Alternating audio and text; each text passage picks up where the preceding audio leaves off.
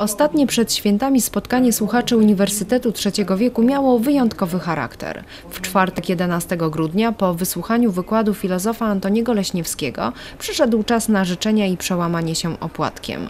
Zanim jednak to nastąpiło, przewodniczący Rady Słuchaczy Witold Makarewicz odczytał zgromadzonym wiersz, który specjalnie na tę okoliczność napisała lokalna poetka Halina Markowska-Budniak. Życzenia zdrowych, radosnych i przede wszystkim rodzinnych świąt Bożego Narodzenia przekazała zgromadzonym wiceprzewodnicząca Rady Słuchaczy Krystyna Berezowska. Życzenia zarówno te świąteczne, jak i noworoczne złożyła też słuchaczom dyrektor Kozienickiego Domu Kultury Elwira Kozłowska. Ponadto w imieniu burmistrza i przewodniczącego Rady Miejskiej zaprosiła zgromadzonych na tegoroczną wigilię organizowaną dla mieszkańców ziemi kozienickiej.